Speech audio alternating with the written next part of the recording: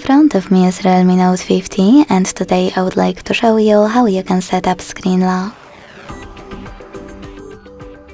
Begin by opening settings. Following that, scroll down and click on security. Now select screen lock under device security over here and finally tap on the best looking method for you. Pattern, PIN or password. Now you get to create it. Hit next at the bottom right corner and repeat it to confirm it.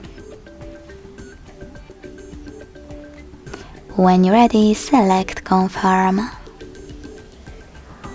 Lastly, answer this question by tapping on one of the available options. How do you want the lock screen to display your notifications?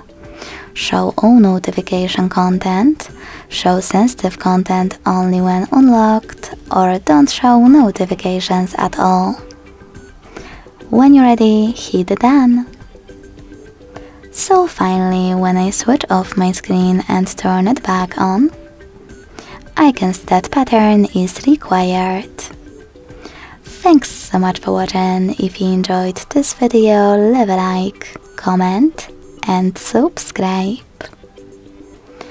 Bye.